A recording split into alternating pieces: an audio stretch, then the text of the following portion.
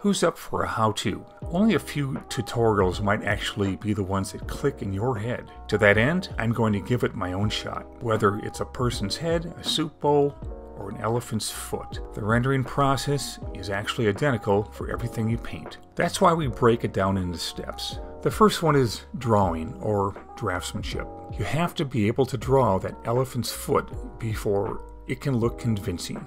Now using paint, you go over the drawing. Paint in color, that's what's going to make something look real. Elephant's feet are gray, but how light or dark is that gray? All finished paintings need to have the same basic thing before they can look real. You get this by taking the right color and putting it in the right place.